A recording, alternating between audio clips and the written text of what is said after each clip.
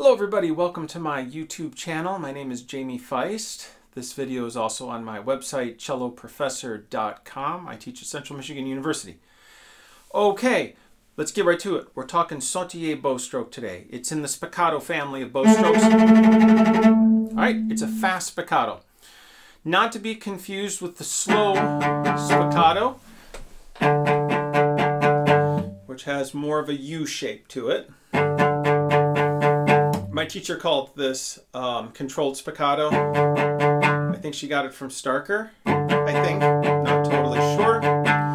All right, the bow stroke is it actually has the loop the other way.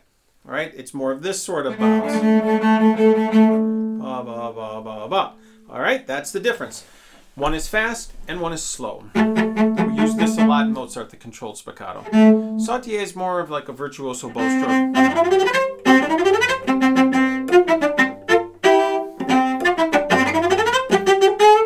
So this has both controlled and sautillé, right? Do you notice that? So you have, that's the sautillé. That's controlled. Right?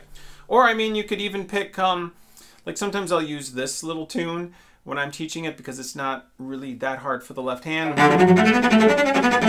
um, scherzo from one of the Suzuki books. Know that one?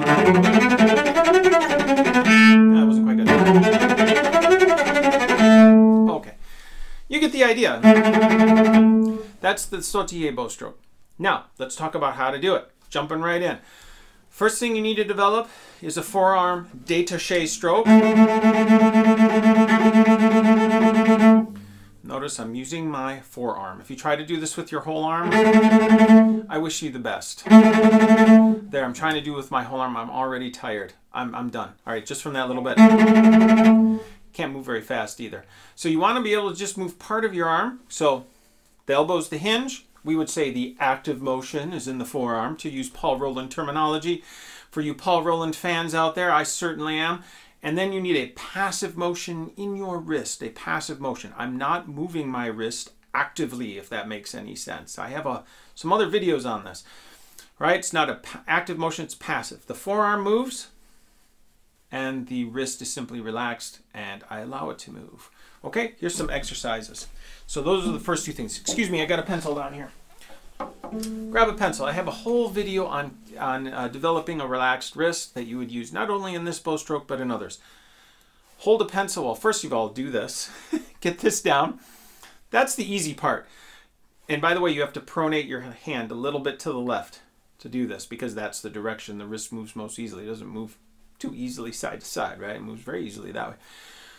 Okay, we're going to hold the pencil. I'm going to turn my hand a little bit to the left, a little bit of pronation, and I'm going to try doing this with the pencil. You may find that this is suddenly more difficult. All right, it's like, oh, how come it's so much harder? Like here I can go like this, and here I can go like this. Well, problem is, anytime you use your finger flexors, this side of your forearm here, right, muscles on this side of your forearm will contract some and keep your wrist from moving right? This is very handy when you go to reach for a cup of coffee.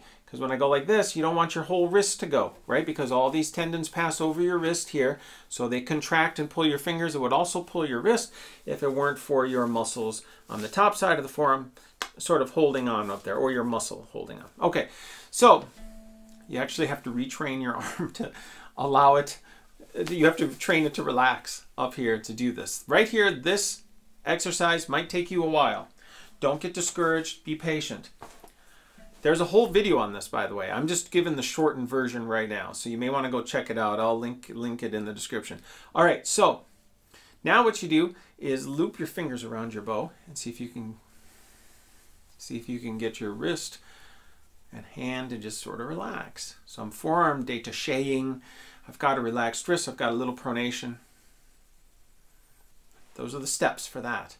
That may take time you may be looking at months before it finally lets go. Uh, will will let go because it, it it's so ingrained in us to sort of as soon as we hold something that this just isn't not going to relax, right?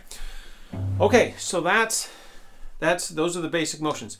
Next is the angle, right? So if I do a regular form détaché, it's just horizontal. We need some vertical or we're not going to get any jump. We need some jump and that means vertical. How do we do it? I'm going to drop my elbow down and I'm going to move my arm at a 45 degree angle. This will give some vertical and some horizontal both. That also gives me the,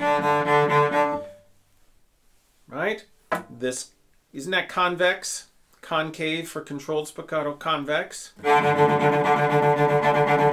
Good, so it'll just happen automatically. You'll get that, that proper um, loop at the top if you go at the 45. Okay,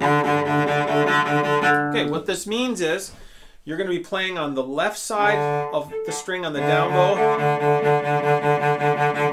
and the right side for the up bow. Down bow, left side, up bow, right side. In fact, you can even do this kind of exercise if you want to kind of feel that, right? Okay, so my teacher, Laurien Laufman, used to have us do this. Again, I think she may have gotten it from Starker. Okay. Good, so there's that. Now, another exercise for that is this. So I'm just going to make my A here with my first finger. I'm going to go down bow on the A,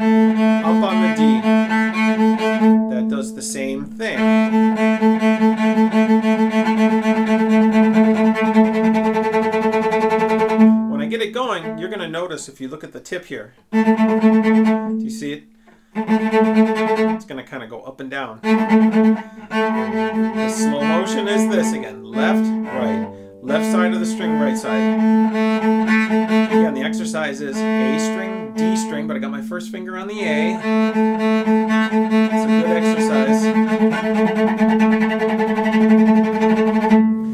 And you get your sautillé. Now I want to make one other comment about this.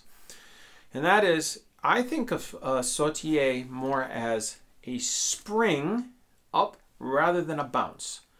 Okay, so it kind of springs out, sort of like if you compress a spring and then let it go, it'll jump out, right, from the floors or whatever it is, right? So that's how I think of it. So sautillé is more like the bow goes in, out. Springing up from. It's a little louder too, which is kind of nice you know, if you got to project a spiccato, because spiccato is a little hard to project if you're think of it as a bounce when it really leaves the string. If you think of it as springing from the string, you can get a little more volume out of it. See what I mean? All right, you picking up what I'm putting down, or am I talking gibberish here? Okay. Spring from, from. And that also can be really handy uh, for like orchestral playing. You know, if you have something you want to make it sound bouncy. It's sort of a everyone's staying in the string, but it's the same technique, but it it stays in. It's got some bite. See what I'm talking about? All right. And for starters, you know, I like to use. I I, I demonstrated that um, Suzuki tune.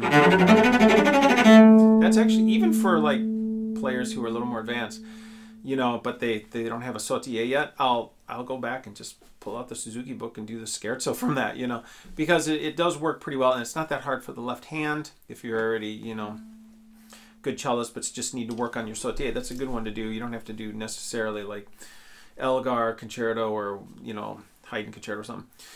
Okay, that's basically what I got. That's basically what I got. Let's recap. Forearm, slight pronation in the in the forearm and the wrist. So forearm détaché, turn a little this way, back of the hand a little to the left. Practice getting that loose like this. Try it with the pencil. Grab the bow, try it with the bow.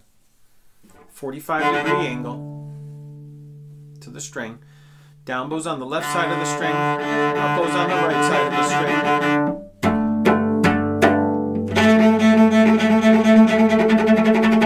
and let it spring out of the string instead of just bouncing. You'll get a little more umph out of it.